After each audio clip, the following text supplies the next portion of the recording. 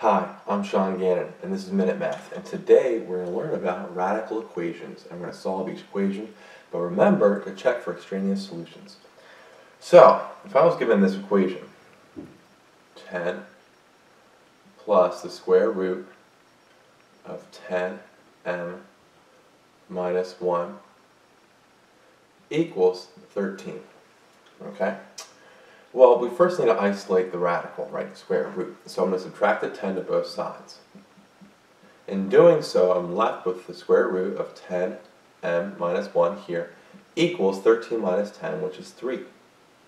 From there, I need to get rid of the square root, so I'm going to square both sides, leaving me with just what's inside the square root of 10m minus 1 equals 3 squared, which is 9 and I'm going to add a 9, a 1, sorry, to both sides, leave me with 10m equals 10, right? 9 plus 1 is 10.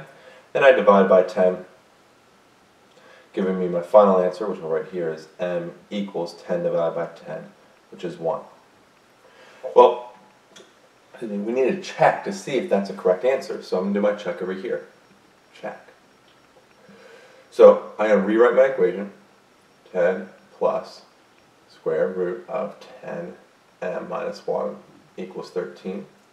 Then I'm going to plug m, uh, 1 in for m. So I have 10 plus 10 times 1 minus 1 equals 13. Well, I'm going to simplify this. Uh, 10 times 1 is 10, so we have 10 plus square root of 10 minus 1 equals 13. 10 minus 1 is 9, so we square root of 9 in there. Square root of 9 is 3. And 10 plus 3 is 13. And they're equal, right? On both sides, 13 is equal to 13. Check. And so therefore we can be confident that m equals 1 is our solution. Alright, so let's recap. We started with 10 plus the square root of 10m minus 1 equals 13. I subtracted 10 to both sides get the radical by itself. Then I squared both sides to eliminate the radical or the square root given us with 10m minus 1 equals 9, right? 3 squared being 9. I added a 1 on both sides, got 10m equals 10. Divided by 10, leave me with m equals 1.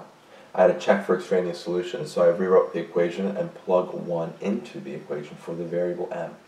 We then simplified, kept um, all parts of the equation on either side of the equal sign. We didn't bring anything over. 10 times 1 is 10, minus 1 is 9. Square root of 9 is 3, and then bring the 10 down the whole way. 10 plus 3 is 13. Seeing this 13 come all the way down, not really doing anything. Leaving me with 13 equals 13. That's true, so I'm confident that m equals 1 is my final answer.